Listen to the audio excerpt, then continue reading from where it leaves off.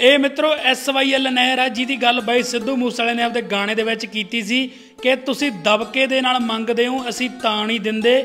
ਉਨਾ ਚਿਰ ਪਾਣੀ ਛੱਡੋ, ਤਬਕਾ ਨਹੀਂ ਦਿੰਦੇ।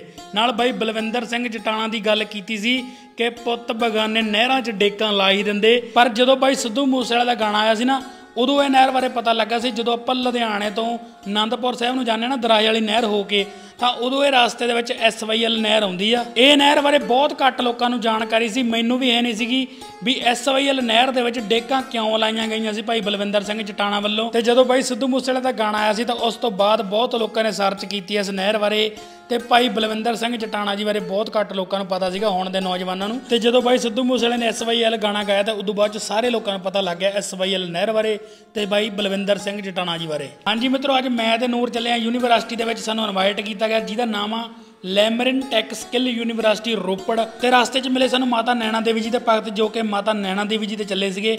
ਕੋਈ ਪੈਦਲ ਜਾ ਰਿਹਾ ਸੀ, ਕੋਈ ਮੋਟਰਸਾਈਕਲਾਂ ਤੇ, ਕੋਈ ਗੱਡੀਆਂ ਤੇ। ਪਰ ਸੰਗਤ ਦੀ ਆਪਣੀ ਆਪਣੀ ਸ਼ਰਧਾ, ਕੋਈ ਮੋਟਰਸਾਈਕਲਾਂ ਤੇ ਜਾਂਦਾ, ਕੋਈ ਗੱਡੀਆਂ ਤੇ ਜਾਂਦਾ, ਕੋਈ ਪੈਦਲ ਜਾਂਦਾ ਵਾ। ਤੇ ਲੋ ਜੀ ਆਪਾਂ ਪਹੁੰਚ ਗਏ ਰੋਪੜ ਠੰਡੇ ਏਰੀਆ ਦੇ ਵਿੱਚ, ਪਹਾੜੀ ਏਰੀਆ ਵਾ। ਤੇ ਆ ਆ ਗਈ ਹੈ ਜੀ ਪਹਾੜਾਂ ਦੇ ਵਿੱਚ Lamrin tech skill university Ropar. ਤੇ ਆਪਾਂ ਨੂੰ ਇੱਥੇ ਇਨਵਾਈਟ ਕੀਤਾ ਗਿਆ ਸੀ, ਮੈਂ ਤੇ ਨੂਰ ਪਹੁੰਚ ਚੁੱਕੇ ਹਾਂ। ਤੇ ਸਾਡੇ ਨਾਲ ਜੋ ਸਰ ਨੇ, ਇਹਨਾਂ ਨੇ ਸਾਨੂੰ ਇਨਵਾਈਟ ਕੀਤਾ ਸੀ, ਇੱਥੇ ਬੁਲਾਇਆ ਸੀ। ਉਸ ਤੋਂ ਬਾਅਦ ਅਸੀਂ ਪੈਦਲ ਸਾਰੀ ਯੂਨੀਵਰਸਿਟੀ ਦੇਖੀ, ਬਹੁਤ ਸੋਹਣੀ ਯੂਨੀਵਰਸਿਟੀ ਸੀ ਪਹਾੜੀ ਏਰੀਆ ਸੀ, ਠੰਡਾ ਏਰੀਆ ਸੀ, ਹਰਿਆਲੀ ਹਰਿਆਲੀ ਆ ਚਾਰੇ ਪਾਸੇ। ਅੱਜ ਸਾਡਾ ਇੱਥੇ ਪਹੁੰਚਣ ਦਾ ਮੇਨ ਮਕਸਦ ਇਹੀ ਆ ਵੀ ਇਹਨਾਂ ਦੀਆਂ ਜਿਹੜੀਆਂ ਐਡਮਿਸ਼ਨ ਓਪਨ ਹੋ ਚੁੱਕੀਆਂ ਨੇ, ਕਿਸੇ ਬੱਚੇ ਨੇ ਕੋਈ ਸਕਿੱਲ ਸਿੱਖਣੀ ਆ ਤਾਂ ਇੱਕ ਵਾਰੀ Lamrin tech skill university Ropar ਜ਼ਰੂਰ ਐਡਮਿਸ਼ਨ ਲੈਣ। ਇਸ ਯੂਨੀਵਰਸਿਟੀ ਦੇ ਵਿੱਚ ਤੁਸੀਂ 10ਵੀਂ ਪਾਸ ਕਰਕੇ ਵੀ ਐਡਮਿਸ਼ਨ ਲੈ ਸਕਦੇ ਹੋ ਪਲੱਸ 2 ਪਾਸ ਕਰਕੇ ਵੀ ਐਡਮਿਸ਼ਨ ਲੈ ਸਕਦੇ ਹੋ। ਬਹੁਤ ਸਾਰੇ ਸਟੂਡੈਂਟਸ ਨੇ ਆਪਣੀਆਂ ਐਡਮਿਸ਼ਨਾਂ ਕਰਵਾ ਲਈਆਂ ਵਾ ਐਡਮਿਸ਼ਨਾਂ ਕਲੋਜ਼ ਹੋਣ ਵਾਲੀਆਂ ਵਾ।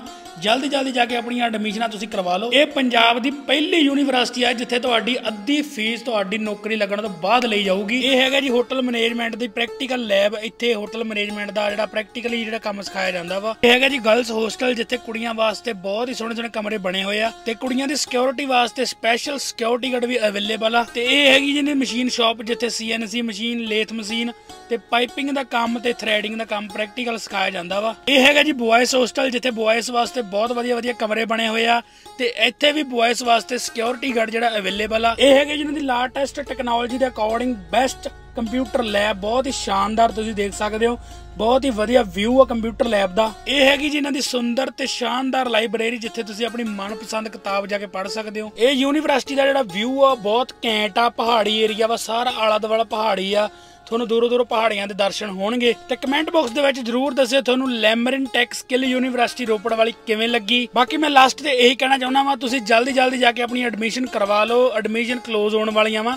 ਸੋ ਜਲਦੀ ਜਲਦੀ ਜਾ ਕੇ ਆਪਣੀ ਐਡਮਿਸ਼ਨ ਕਰਵਾ ਲਓ ਤੇ ਵੀਡੀਓ ਵਧੀਆ ਲੱਗੀ ਤਾਂ ਵੀਡੀਓ ਨੂੰ ਵੱਧ ਤੋਂ ਵੱਧ ਸ਼ੇਅਰ ਕਰਿਓ ਲਾਈਕ ਕਰਿਓ ਕਮੈਂਟ ਕਰਿਓ। ਥੈਂਕ ਯੂ ਸੋ ਮਚ ਜਿੰਨੇ ਵੀ ਭੈਣ ਭਰਾਵਾਂ ਨੇ ਸਾਡੀ ਵੀਡੀਓ ਲਾਸਟ ਤੱਕ ਦੇਖੀ ਥੈਂਕ ਯੂ